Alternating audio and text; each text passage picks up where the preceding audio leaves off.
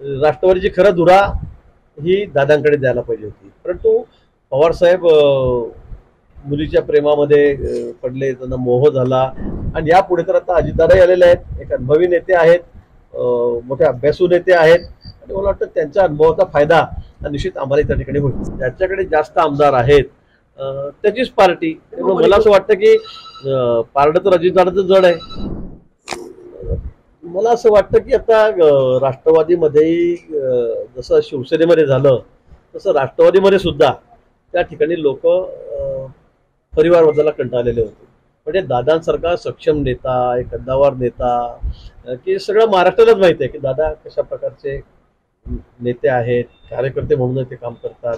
तर त्यामुळे राष्ट्रवादीची खरं धुरा ही दादांकडे द्यायला पाहिजे होती. परंतु पवारसाहेब मुलीच्या प्रेमामध्ये पडले त्यांना मोह झाला आणि त्यांनी नंतर अलीकडच्या काळामध्ये दोन तीन वर्षामध्ये सुप्रियाताईंचा पुढे केलं त्यांच्यावरती जबाबदारी टाकली आणि म्हणून मला असं वाटतं की सर्व राष्ट्रवादीमध्ये विशेष करून जे प्रमुख लोक आहेत त्यांचे सगळे जे अगदी उजवे डावे हात ते सुद्धा नाराज झालेत.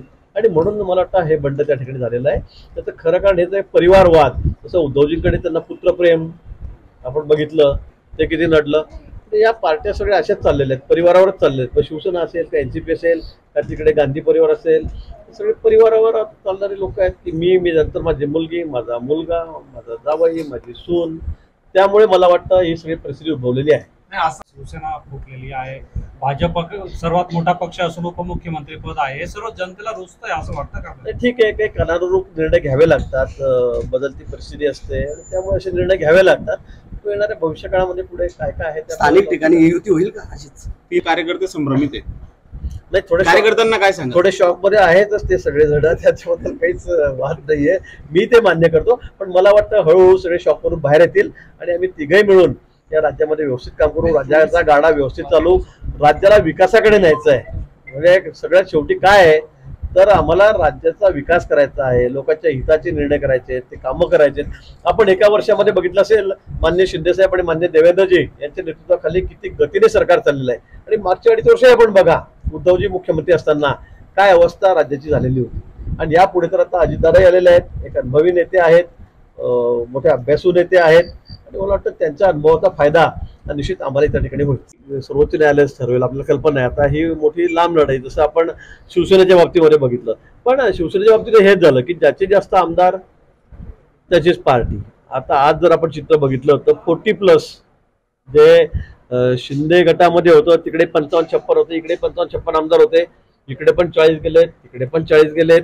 म्हणजे इतकं साम्य दोन्ही केसेसमध्ये त्यामुळे आपल्याला कोणी सांगेल किंवा ज्याच्याकडे जास्त आमदार आहेत अं, त्याचीच पार्टी. त्यामुळे मला असं वाटतं की पारडं तर अजितदादाचं जड आहे. शिंदे साहेबांसोबत चाणक्य हेच आता परत एकदा भाजपच्या वाट्याला आले आहे शिंदे गटाच्या वाट्याला आले म्हणजे थोडक्यात सांगायचं झालं तर असं गमतीने सोशल मीडियावरती असं म्हटलं जातं की सासूमुळे वाटलं आणि सासूच वाट्याला आली.